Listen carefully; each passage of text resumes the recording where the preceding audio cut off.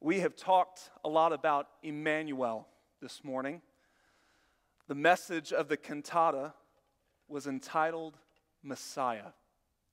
I don't know why, but we tend to think that the child birthing process is such a natural thing. Because we have so many born every single day, in fact, there are 15,000 babies born every hour, we tend to forget the wonder surrounding the amazing event of a child being born. We look on it as commonplace, normal. And the sad to say, we tend to do that with the birth of Jesus too. But I want us for just a few moments this morning to think, to remind ourselves that the birth of Christ was not normal. It was not happenstance. It was far from normal, and it definitely was not an accident. This morning, our choir has sung about Jesus as the Messiah. Messiah, it was a Chaldean word which most believe the prophet Daniel appropriated and formed into Hebrew. It means anointed one. And it only shows up a few times in Scripture twice in the Old Testament in the book of Daniel, and twice in the New Testament in the book of John. The idea of anointing a person was that they were set aside for a specific task, for a specific calling. We have instances in Scripture that relay that prophets, priests, and kings were all anointed positions. It's interesting that Jesus fulfilled each of those offices, and that is why we call him the Messiah the anointed one. They were chosen by God to perform a particular task or lead a particular life. Probably the most memorable, memorable anointing was when in the Old Testament, a man by the name of Samuel, who was the prophet, visited the house of Jesse. God had told him that he would find a king in this household. So, one by one, from tallest to smallest, Jesse introduces each of his sons to Samuel, only to settle on the forgotten, youngest, ruddiest, scripture says, the shepherd boy, David. Well, this boy, we don't know how old he was at the time, he knelt before the old man Samuel, God's appointed judge of Israel, as he poured out from a horned container oil. From that day on, that boy who went back into the field and watched sheep for the rest of the day, having been anointed as king of Israel in the morning, goes out and watches sheep that afternoon. Everyone knew that David would one day be the king of Israel. Ironically, Jesus never used the word Messiah to describe himself, but he was the chosen one. In the New Testament, it uses another word to further point that God appointed Jesus. That word is Christ. While most today would write it down as the equivalent of Jesus' last name, like Corey Minter, think Jesus Christ, or they would think Christ, Jesus Christ, that's not what it is at all. It's really a Greek title that says the exact same thing as Messiah anointed, chosen, promised. In our more modern and skeptical times, we, we don't really get the idea of anointing and prophecies, but it plays a key role in the birth of Jesus. Our choir has already sung about several prophecies that were fulfilled at Jesus' birth that prove that he was God's anointed one. He was God's Messiah for us. But I want to point out two specifically this morning. Firstly, Jesus would be born of a virgin. Isaiah chapter 7, verse 14, we've already read it in the narration, says, Therefore the Lord himself will give you a sign. Behold, a virgin shall conceive and bear a son, and shall call his name Emmanuel, which means God with us. That's not normal. There's nothing about Isaiah 7:14 that is normal. In fact, it's very abnormal, but it's vital to the correct theology of Jesus, of who Christ was. If Jesus were just the fruit of Joseph and Mary's relationship or any other erroneous suggestion of a human father, Jesus would not really be God's son. But Scripture teaches that Jesus was wholly human and wholly man, something that can only be understood through the virgin birth. It is essential to Christianity, and it was foretold 700 years before Jesus comes on the scene in Bethlehem. 700 years prior to his birth, it is foretold that a virgin shall conceive and have a child. That's the first, that he would be born of a virgin. The second is just as unbelievable. It was that Jesus would be born in Bethlehem. That seems a bit more tame, maybe. But Micah 5 2 tells us, But you, Bethlehem Ephrathah, though you are little among the thousands of Judah, out, yet out of you shall come forth to me the one to be ruler in Israel, whose goings forth are from old, from everlasting. Moms, you, you can make the appointment with the, doc, with the doctor to induce you at a certain time in a certain place but there is no guarantee that your child would come on that date and in that hospital room. Some of you could testify to that. But about 700 years before Jesus was born, with about six major empire upheavals between, the prophet Micah prophesied that Jesus would be born in Bethlehem. Think of it this way of the globe's 197 million square miles, God relayed that his son would be born within the tiny four square miles of Bethlehem's ancient city limits.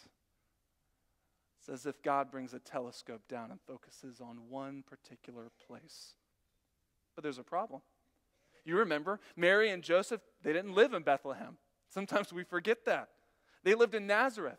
And honestly, if God had even gotten it close, within 100 square miles, I'd be pretty impressed. Of the 197 million square miles in the world, he got it down to 100 square miles. I'd be impressed. But at a last minute, late in the pregnancy decree by Caesar Augustus, made sure that the couple traveled from Nazareth to that four square mile plot of land that had been prophesied 700 years earlier, there the Messiah will be born. Maybe that's why Jesus never referred to himself as the Messiah. He would let his fulfilled prophecies speak for themselves that he was the Christ. He's the Son of the living God. It is definite. Jesus' birth was no accident, it had been ordained before the foundation of the world. And his death wasn't an accident either. No one can choose the place and time and method that he will die. We may think that we can, but we're not given even a sure thing there. But God delivered prophecies to his people to make sure that we knew he had chosen this for his son. Dozens of prophecies fulfilled in the crucifixion of Jesus. Again, the prophet Isaiah, he helps us. Let me read a large portion of Isaiah chapter 53. Surely he, Christ, has borne our griefs and carried our sorrows, yet we esteemed him stricken, smitten by God, and afflicted. But he was wounded for our transgressions, he was bruised for our iniquities. The chastisement for our peace was upon him, and by his stripes we are healed. All we like sheep have gone astray. We've turned everyone to his own way, and the Lord has laid on him the iniquity of us all. He was oppressed and he was afflicted yet he opened not his mouth. He was led as a lamb to the slaughter, and as a sheep before its shears is silent. So he opened not his mouth. He was taken from prison and from judgment. And who will declare his generation? For he was cut off from the land of the living. For the transgressions of my people, he was stricken. And they made his grave with the wicked, but with the rich at his death, because he had done no violence, nor was any deceit in his mouth. Yet it pleased the Lord to bruise him. He has put him to grief. When you make his soul an offering for sin, he shall see his seed. He shall prolong his days, and the pleasure of the Lord shall prosper in his hand. He shall see the labor of his soul and be satisfied. By his knowledge, my righteous servant shall justify many, for he shall bear their iniquities. All of that written seven centuries before Christ would be crucified. It would be as if long before America had been birthed in 1776, somebody would say that there would be a boy born in Norfolk General Hospital in 1986 to Mike and Pam Minter, and that's astounding, even more so foretold of his death. All written 700 years prior, before Jesus was arrested, beaten, crucified, buried in a borrowed tomb. His death was no accident. It did not catch God nor Christ himself off guard. But the most striking aspect of Jesus being the Messiah, the Christ, the anointed, chosen one, it comes only one time. The only time that Jesus even refers to himself as the Christ. I mentioned earlier, he doesn't ever call himself the Messiah, but he does once call himself the Christ. And it's the night before he is to be crucified. And he prays. He prays a chapter long prayer. And he prays to the glory of the Father. He prays for his disciples. And friend, I want you to know something. He prays for you. Scripture records that he does not pray for his, those 12 only, but also for those who would come after them. Corey Minter's name is among that list that Jesus prayed for the night before he was crucified. He prays for you, which promises me this you are no accident. Christ's death nor his birth was an accident, and neither are you.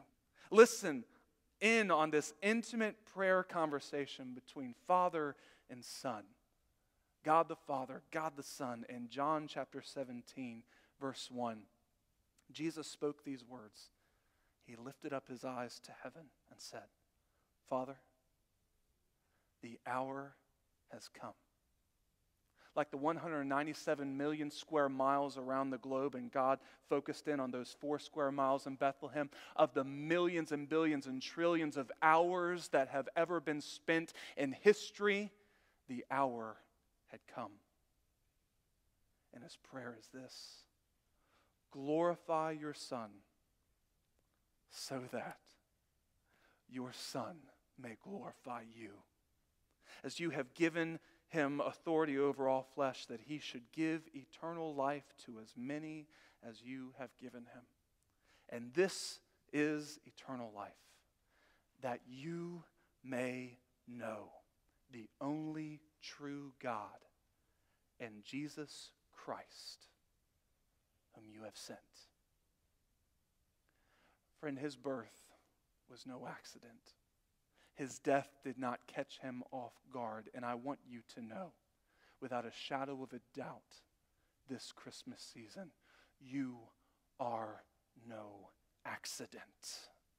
You have been purchased at a great price by the Almighty Creator, Sustainer, Redeemer of the universe. He is your Messiah. He is God with you, Emmanuel is the Prince of Peace for you.